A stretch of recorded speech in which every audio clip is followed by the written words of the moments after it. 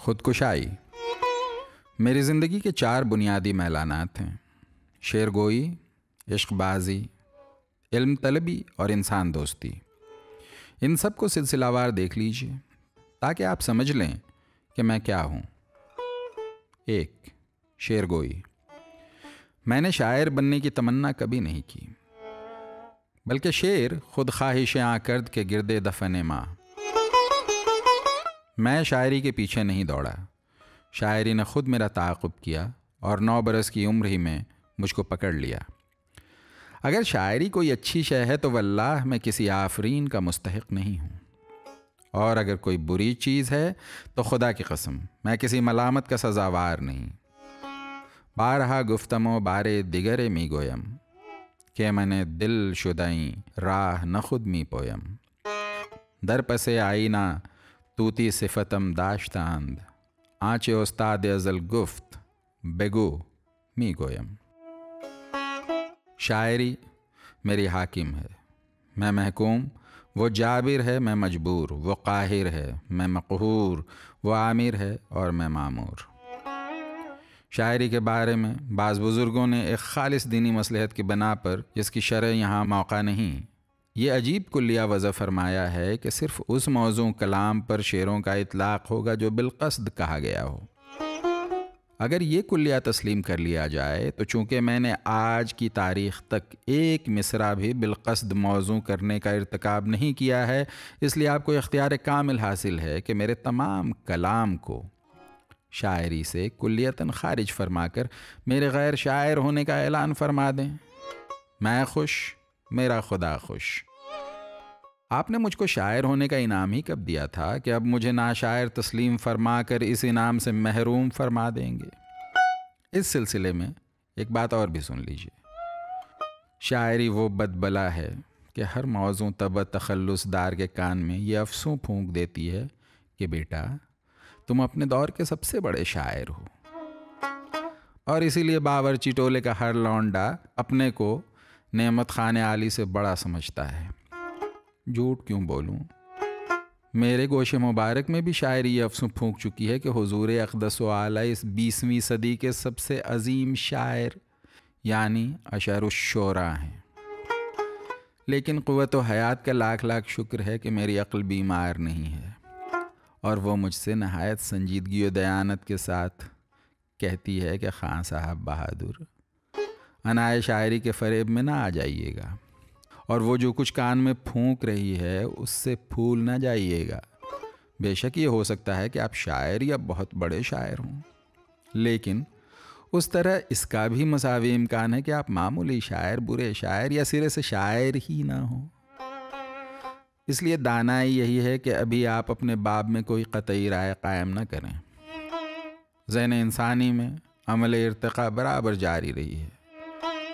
आपकी मौत के सौ डेढ़ सौ बरस बाद नक्कादान अदब का जहन उस सतह पर आ जाएगा कि वो आपके मुतल फ़ैसला कर सकें। इसलिए सरदस्त दानिशमंदी यही है कि आप गोमगो में रहें। अक्ल का मशवरा बावन तोले पावरत्ती का है। उसकी माकूलियत में शुभा करना हिमाकत है। लेकिन मैं इस वक्त एराफ में बैठा हुआ हूँ। एक तरफ़ खोखला अनाय शायराना है। एक तरफ़ ठोस अक्ल सलीम। जब अना की तरफ़ से हवा आती है तो अकड़ कर बावन गज़ का हो जाता हूँ। और जब अक्ल की जानब से डांट पड़ती है तो सुकड़ कर बालिश्तिया बन जाता हूँ। दो अमली में हमारा आशियाँ है।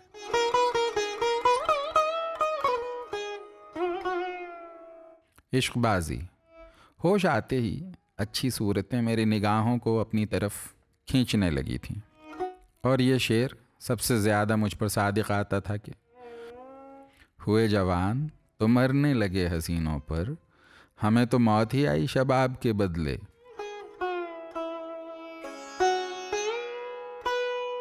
ये सच है कि इश्क फितरत का एक बहुत बड़ा फरेब है, जो इसलिए दिया जाता है कि इंसान अफजाइश नस्ल के तवसत से मौत के मुकाबले में हयात पैदा करता रहे, अपने वजूद में कमी और आबादी के तनोतोश में इजाफा करे। अपनी जवानी घा ले और फितरत के बच्चों को अपना बच्चा समझकर पाले।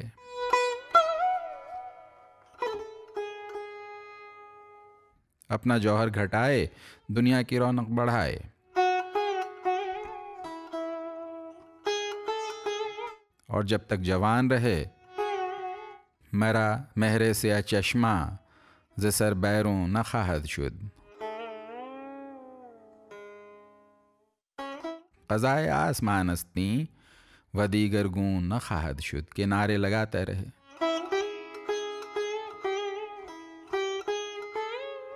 और फिर मरते दम तक शीरा टपकती हुई जलेबी की तरह पड़ा रहे। लेकिन ये बात बहुत देर में समझ आई है। कल दौर इश्क में रोता था। अब अहद अक्ल में अपने पर हंसता हूँ। लेकिन अब क्या फ़ायदा? जब चिड़ियाँ चुग गई खेत। चालाक फितरत धोखा देकर मुस्कुरा रही है। और मैं एक फरेब खुर्दा इंसान के बाशत झेपा हुआ बैठा हूँ। पर झड़ गए, दुम गिर गई, फिरते हैं लंडूरे। लेकिन माहरूखों की नाशुक्री और सलोनियों की नमक हरामी होगी, अगर मैं इस बात का एतराफ़ न करूँ कि उनके इश्क के बग़ैर मैं आदमी नहीं बन सकता था। मेरा तमाम कलाम और बिलखसूस जमालियाती शायरी की कचकुलाही उन्हीं मतवालियों और मदमातियों की जूतियों का तसदुक़ है। अगर उनकी नज़रों के बान मेरे दिल को छलनी करके गुदाख्तगी न पैदा करते तो खुदा की कसम, मरते दम तक मैं गंगोह शरीफ का मौलवी अब्दुलसमद ही बना रहता।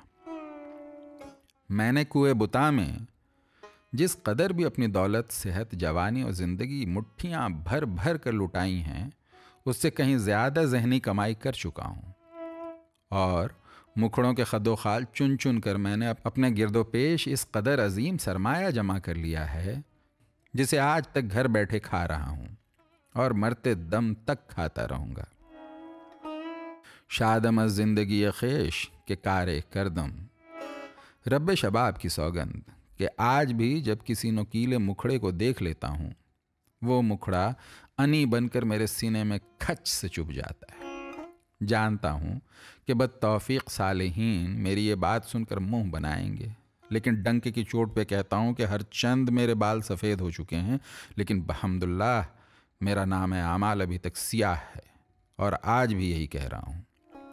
गरचे पीरम तो चुनान, तंग दर आगोशम गिर कैसे हर गह, ज किनारे तो जवां बरखेज़म